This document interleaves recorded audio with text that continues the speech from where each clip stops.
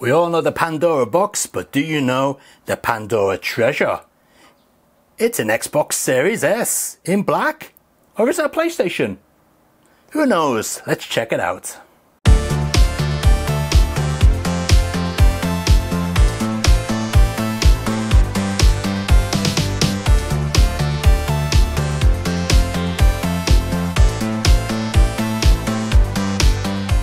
So yes, here we are with the Pandora Treasure, the console version of the famous arcade sticks. As you can see on the top of the box it says have a good time together so it's all about the family fun. Whoa, even Granddad and Nana are playing it. Cool. On the back of the box we've got an outlook of the system and this is what makes me think it's the same interface that's inside those Pandora joystick machines. We've got a DC jack, HDMI out, the VGA out, got a headphone jack, volume adjust there, and setup, setting up the system. Oh, well, that's a weird one, isn't it? We'll, we'll have to check it out and see what that's all about. And the switch. well, yeah. But I'm confused because on the top it says Pandora Treasure, and on here it says Mini Street Arcade. Ooh. And on this side, no idea what that says. But it is English. Well, that's one of the kanjis used for English in Japanese. No idea about Chinese though. Alright, so let's take a look in the box and see what we get. I've got to say, it's not exactly the most luxurious of boxes, is it? But that's all beaten up and everything. Alright, let's take a look inside here. Okay. So first off, we have some styrofoam and oh, don't tell me that's the console. It is. That's the console. It's tiny. All right, and we have wireless joysticks, wireless controllers, I should say, which feel very light and flimsy. Got on-off button there. Oh, bloody hell, look at that. Can you see that? It's not even put together properly. Oof. That is... Yeah, hopefully these are just uh, standard Bluetooth or better still uh, 2.4 gigahertz controllers We'll uh, check it out but uh, yeah they're very flimsy. Yeah not nice at all. Okay so you get two of those. There's the other one. Power pack European style. You need to use an adapter to use that in Japan Luckily it is 110 volts input and we have an HDMI cable and what's this? Ah, Bluetooth transmitter dongle. Alright, so they are just standard Bluetooth controllers. And that's your lot. Alright, so let's get the camera a little bit closer and open up this box. Now I've got to say, I am surprised. I didn't think it was going to be that small. But uh, yeah, it's got a little bit of weight to it, so uh, let's open this up. It might be a quite a nice looking device. Ah, micro SD card pre-installed, and thankfully it's got a USB port on the side there, so maybe we can use USB controllers. Right, nothing else in there. We got some uh, instructions on the top, uh, Chinese. Ah, Chinese only by the looks of it. But at least the instructions are in color. Ah, there we go. We have English as well. So that's good. All right, interesting. So we can see the specs there. What I'll do is I'll put them on the screen over here so you can see it a little bit clearer.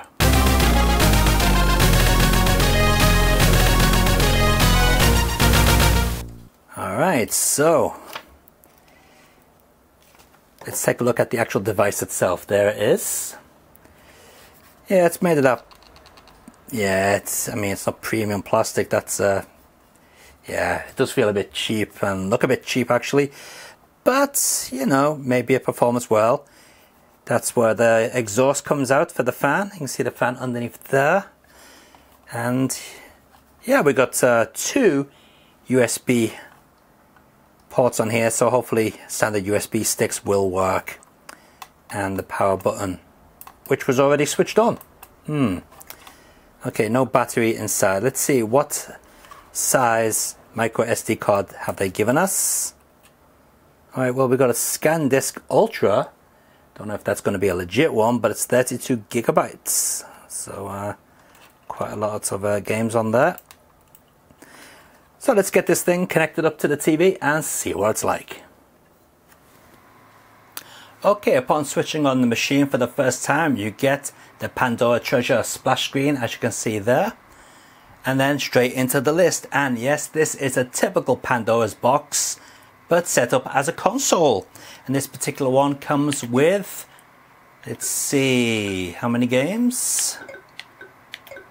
Ah, oh, 4,230 games. And as you can see, they're not all arcade games because these are PlayStation games. Asuka 120% limited Burning Fist. That's going to be the PlayStation version up there. Actually, up there, yeah. So uh, we'll check that out. And it's nice to see we get the little video previews over there in the corner. So uh, let's uh, go to Asuka. There you go. You got the little video preview as well. Now, probably what you want to know is can you use any USB controller on it? Well, it seems you can. I've got a PlayStation 4 Hori controller here, and yeah, it works. And here we got a Sega Saturn USB controller. So let's connect this up to uh, player 2's input and see what happens. And let's press the setup button on the back of the console. Okay, so straight away you get various options. So let's go to USB gamepad mapping. Okay, so we're going to press a button on the Sega controller and the uh, Hori. So there's the Hori, and as you can see in the top corner up there, it actually says name Hori Company Limited, Hori Pad 4. And here you can just set up your buttons, very simple to do. You just basically press the buttons in the order in which you want them to appear in the game. That's it, that's all you have to do. I'm going to see if we can do the same with the Sega. Alright, so the Sega is, ah, here we go. You can see it's now changed to Cypress USB pad up there in the corner. Not sure why the Sega controller is called that, but uh, let's give it a try. So we're going to go, uh, I presume these are going to be the uh, punches and a six button game. Start, and we'll have this as the coin. So let's see if we can uh, exit all that. Or do we have to do this one as well? Uh, Alright, let's see if we can... Okay, we can't seem to exit, so... Uh, we can exit with the Hori pad. Okay, let's save that. Yes, save please. Okay. Game listing Neo Geo console on or off. That basically just plays the Neo Geo games. We'll keep that off so we get all the different games. Different wallpapers for the background. So we've got this purpley looking thing here. We'll change that to number five, whatever that is. Languages, we've got Korean, uh, Chinese and English. And that's about it. So let's uh, save all that. Of course, we've got the iOS test, uh, IO test as well. So as you can see, all the buttons are working here. Let's try the Sega pad. Absolutely not. So obviously, oh, there you go. The D-pad's working, but the buttons are not. Well, that's not a surprise, is it? I think I uh, didn't set up Player 2's controls. anyway, we'll just go with uh, the Hori pad. And uh, let's start off with the PlayStation game, Asuka 120% Limited Burning Fist. And uh, let's see how well it handles that. Like, hopefully it'll work pretty well. So let's switch off the lights so we get a nice good view of the screen without my reflection. Now you'll notice straight away a problem. It's in 16 by 9 and we don't like our retro games in 16 by 9. Luckily, my TV can uh, change the aspect ratio.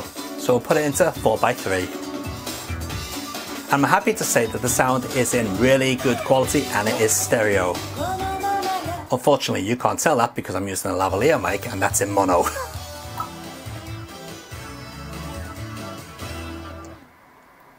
Now what we want to look for is any drop frames. Is it going to run this perfectly? 60 frames per second. Now I prefer this on the Sega Saturn, it looks better. But uh, it's still pretty nice on the PlayStation.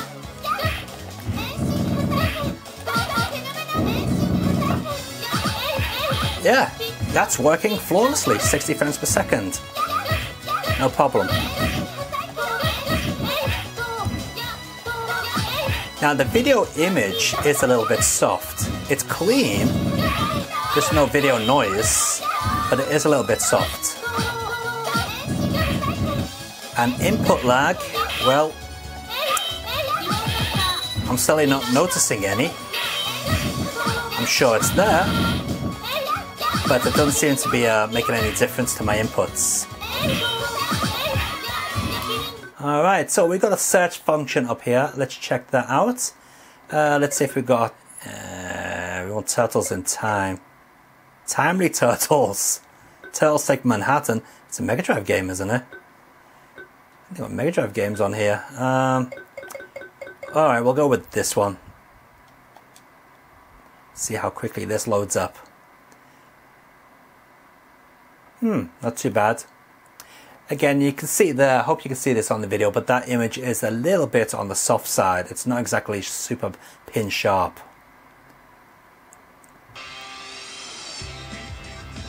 Alright, this is the original Turtles arcade game.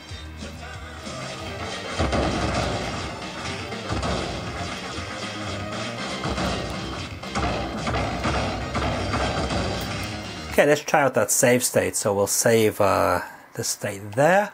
Alright, let's uh, move along a little bit. Okay, and uh, let's load up that save. Yep, works perfectly, no problem. Alright, I want to see if we got um, different uh, turtles on here. I want to see if it's got turtles in time. Nope, this looks like it's a console game. Looks like it's a Super Nintendo. And look how, ooh, look how blurry that is. Yeah, this is a Super Nintendo game. With a horrible filter over it. Ooh, that does not look nice. Yak.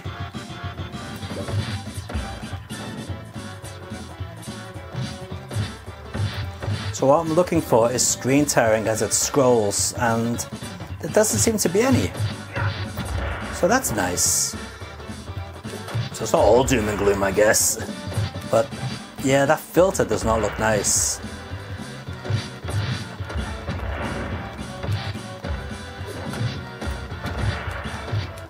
Okay, let's take a look at some arcade games, see how they run on this device.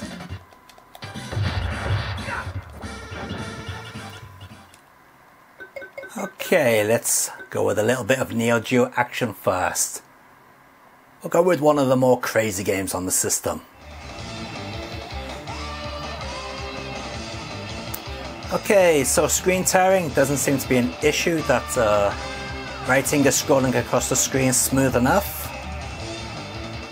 No screen tearing at all there, so that's a good thing.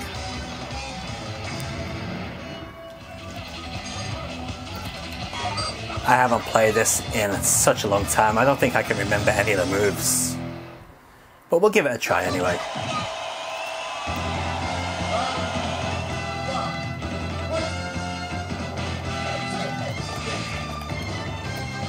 Nope.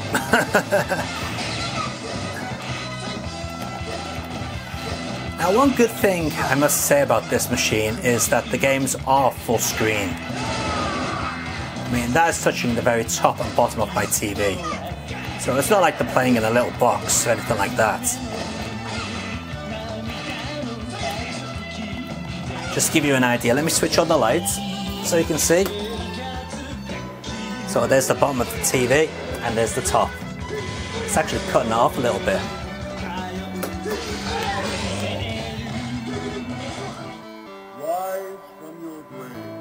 It looks like it is working at the correct speed. It is? Wow, we can play Altered Beast at the correct speed now. What a future we live in.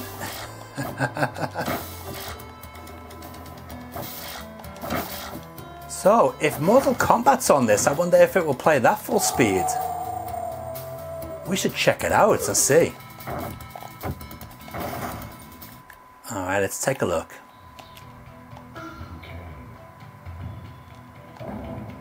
Alright, a little bit of screen tear in there as it scrolled down.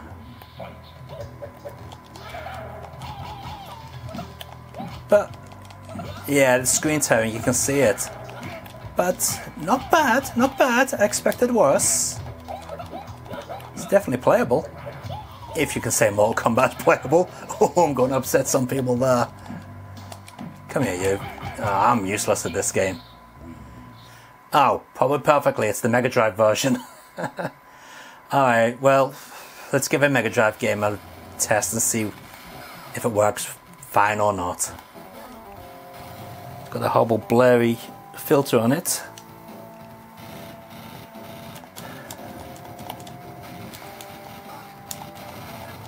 But yeah, it seems to be working. Nice and smooth there with the tilting. So uh, yep, definitely running at the right frame rate. And the sound is as it should be. Okay, let's uh, take a look at more arcade stuff because to be honest, arcade stuff is uh, where this machine would be most impressive.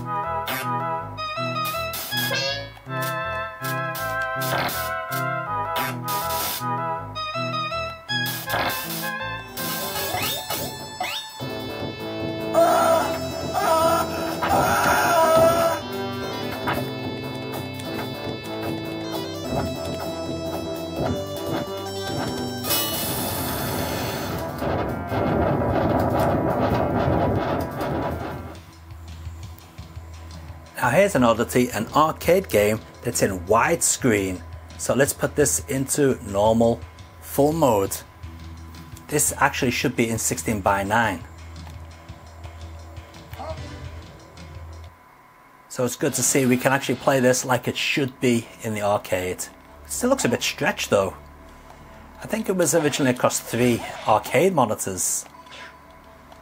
So uh, maybe we, we need to squash it down a little bit more with the settings on the TV. But uh, we're not going to go into that now.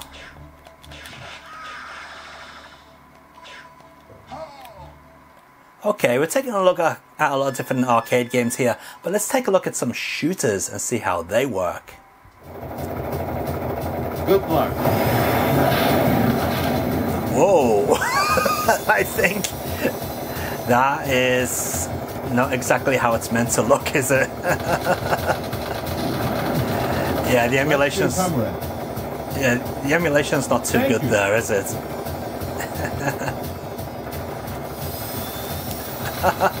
At least it's smooth. Alright, let's check out uh, some other shooters. So we'll go with a bit of a classic first. This is Cotton. Should run this without any issues, I think.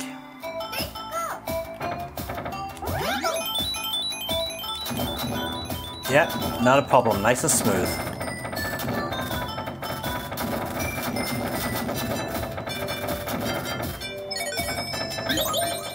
Okay, we'll go with a classic. This is Dodonpachi. Everyone likes a bit of Dodonpachi.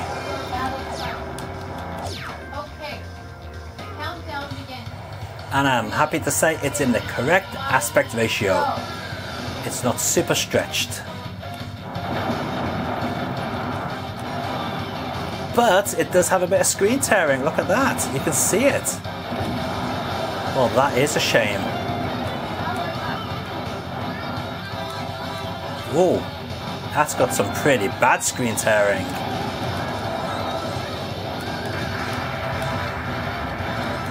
Uh, that is, ooh, that is pretty bad. Okay, let's check out one more vertical scrolling shooter and see if that suffers the same as this. Okay, so we've tried to go with a game that's not by Cave, this is by Raizing, and this is one of their classics. Alright. Hopefully this will be nice and smooth. And it seems to be. Okay, so it looks like, I mean, it's the correct aspect ratio as well. It looks like um, it's using different emulators for different shoot 'em ups because uh, Dodonpachi is no more demanding than this game. And this one's running perfectly fine.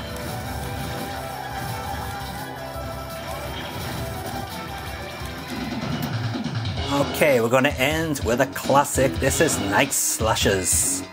Now, Night Slashers never works properly, so I'll be interested to see how well the emulation is. I'm not expecting a miracle.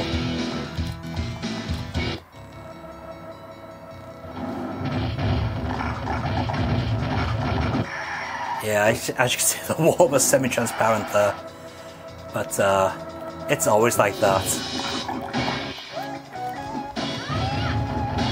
But I'm happy to say the speed is correct.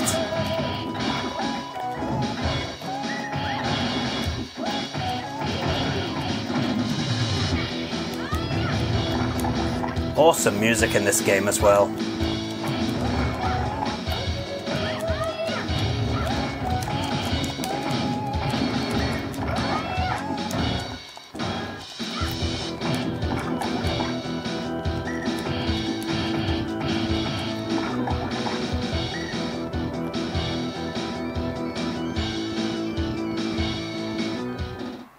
So there we have it. That is the Pandora Treasure. A nice little tiny arcade system. Now, it's not perfect. You saw that. Some games work really well, some games don't. Um, but the PlayStation stuff runs very nicely on it, and a lot of the arcade stuff does, and Super Nintendo Mega Drive does as well. But the thing is, depending on the internal resolution of the game, will depend on how blurry it is on the screen. You saw, uh, like this game here, doesn't look blurry at all. But you saw the uh, Super Nintendo stuff and some of the Neo Geo stuff and the Mega Drive uh, Afterburner. They run at a lower resolution and they look really nasty. I mean, really blurred. I mean, some people like that type of uh, blurriness, but it's not for me. I like it to be a lot sharper, you know, pixel perfect. But um, it, some of the arcade stuff, depending on what it is, can look uh, good, as you saw when we went through all those arcade games. So, yeah, it's an okay device, but you gotta ask yourself, are you happy with the blurry image that some games have? Now, the controllers that come with it, these are Bluetooth controllers, they're complete and utter crap. I mean, I tried them off camera. The D-pad is horrible. These things, they're just way too sensitive. You go to the menu and, you know, it's skipping through all the options and you're not even pressing it, so they're drifting already. But yeah, these are awful. But I did test it with 8BitDo um, Bluetooth uh, controller, and that worked just fine. And I tried it with a couple of different uh, USB controllers. Um, this one here, the Astro City controller, that didn't work. But that's no surprise because it doesn't work on a lot of things, but it does work on a PC just fine. Um, I tried PlayStation 4 controllers, they worked. The uh, Sega Saturn controller here, the Sega Saturn USB controller, this kind of worked, but for some reason the start button wouldn't function. So that's a bit weird. But again, that is another one that uh, is a little bit picky but works fine on a PC.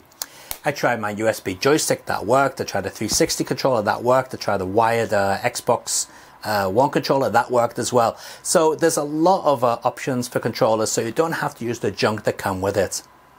Anyway, if you're interested in picking up one of these devices, I'll put a link in the video description down below loads of games, loads of arcade games. You've got your fighters, your shooters, your obscure Korean puzzle games like this thing here, which is just an Arkanoid ripoff. Um, but yeah, it's got all the game types on here. So um, yeah, if you're after something, check out the link in the video description down below. Till next time guys, take it easy and keep on gaming. See ya.